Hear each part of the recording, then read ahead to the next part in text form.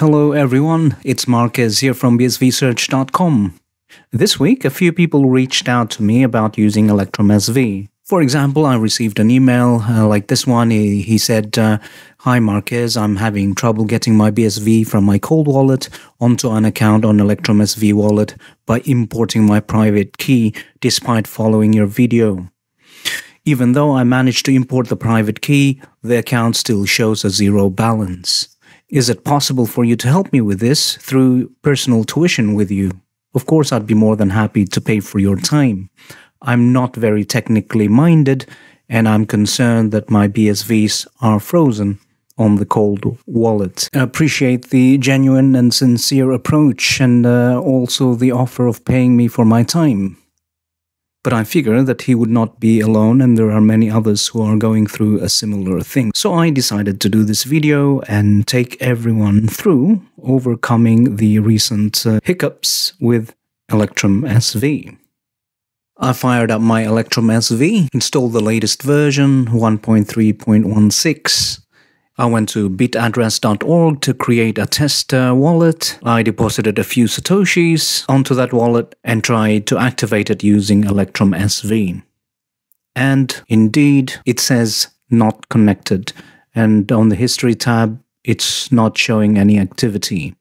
So if you are experiencing the same issue with Electrum SV, then stick around, this video is for you. I'll show you a workaround this problem. One of the first thing I did then was to check uh, in Twitter or x.com to see who's posting about it. And fortunately, we have Kurt Walker Jr. from GorillaPool.com who's posted about this and he said if you want to connect to Gorilla Pool's Electrum SV server then here is a step-by-step -step guide. Please share. It is modified from Roger T's article but explains how to select Gorilla Pool. You've got other options too, but we're providing a reliable one.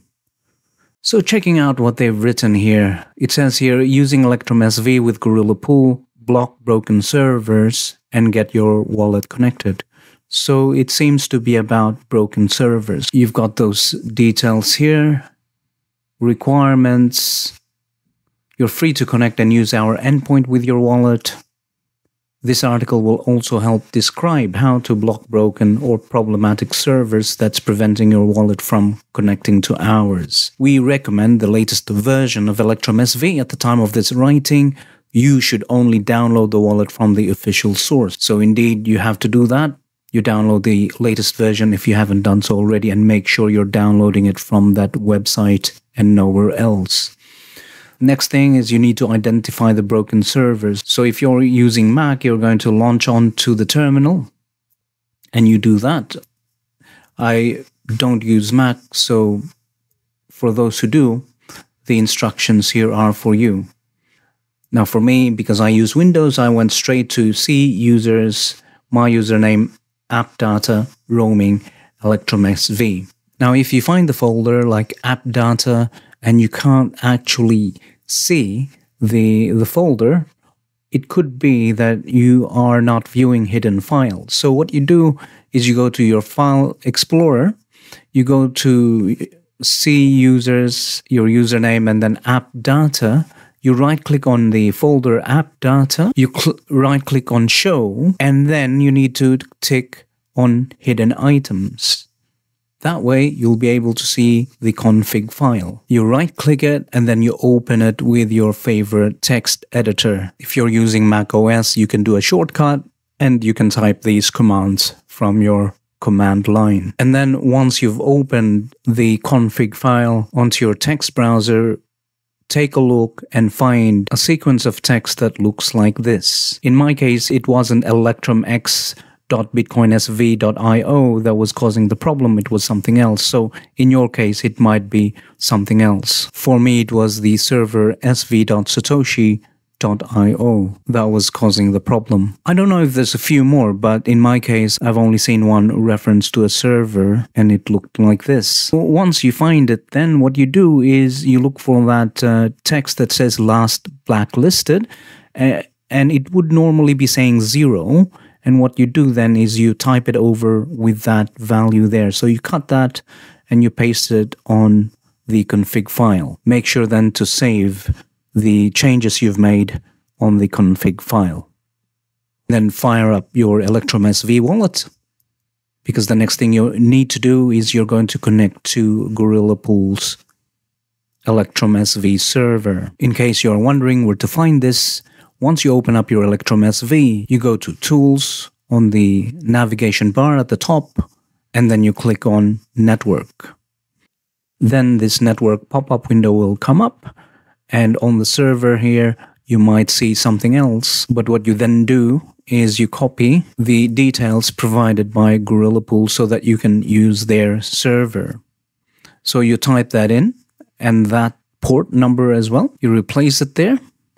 And I think if it's ticked like select server automatically, you'll obviously want to untick that. So untick that to make sure it's clear and press close. And as we can see here, that's the end of the instructions from Gorilla Pool. So what you then do is you close off your Electrum SV software. So fire up your Electrum wallet once more. And when you log on, what you expect to see is that on the history tab, you'd be able to see the history of that transaction. And you'd also see the word connected here, which now indicates that your wallet is connected to the blockchain. And you can now transact as you would normally do. I hope then that this guide fixes your Electrum SV issues for you. And let's thank Roger Taylor and the person there with handle dollar $root at Gorilla Pool who wrote this workaround for us.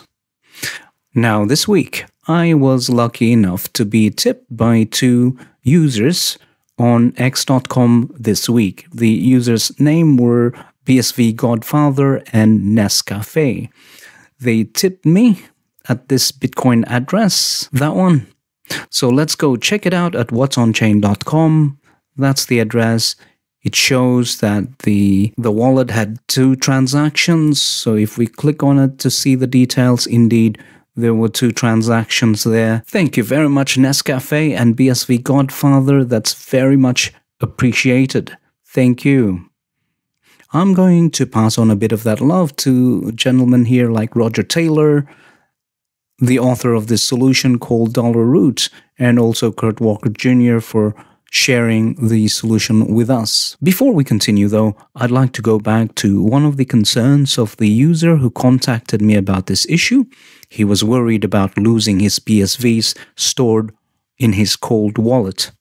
And when you are ever worried about this, what you do is you go to a blockchain explorer like uh, whatsonchain.com and you check your wallet. You you go to this address, you you type in your address uh, here, you click the search button there.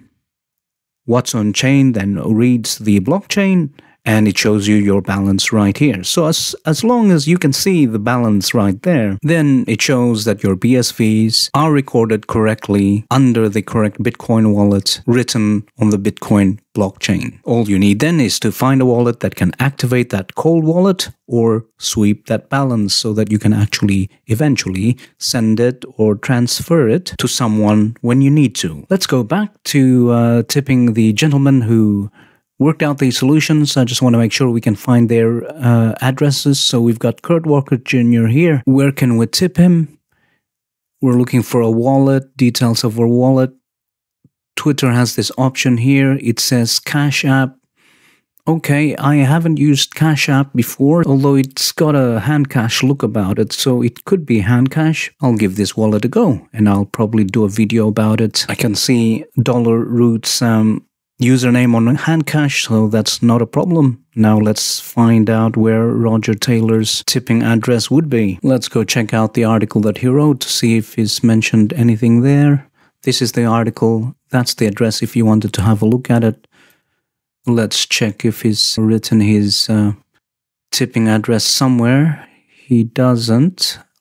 Maybe it's on the Electrum SV website support. No, it's a GitHub Maybe on his Twitter account then. Donations not accepted. All right. Okay, it looks like he's not uh, accepting donations, which is fair enough. Well, thank you, Roger Taylor, for the work you're you're doing there for Electrum SV.